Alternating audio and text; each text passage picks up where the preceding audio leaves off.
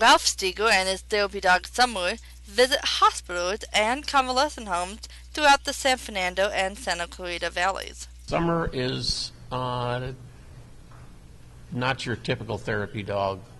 Uh, a lot of them, they like either young, old, or in the middle. Some like men, some like women.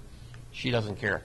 She she as long as she's going to get the affection from somebody, and she knows she's going to do something good for them, she's there. Registered with the Delta Society, Steger explains the tedious process of becoming registered and staying registered as an animal assisted therapy dog specialist. First, they want the, what they call a canine good citizen, uh, which is your regular obedience training.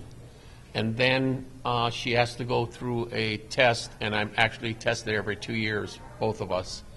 And they have to be to know a hospital setting, a retirement home, school setting, how to behave, to be calm, um, no, not to bark, uh, not to be super active, just to be a, a nice, mellow dog where someone can come and pet and uh, get uh, the uh, attention.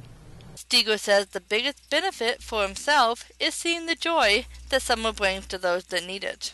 There's people in the hospital who have been there for months, and she goes in there and she brightens up their day. And it, she may be in there for five minutes, she may be in there an hour, but that person may not live too much longer.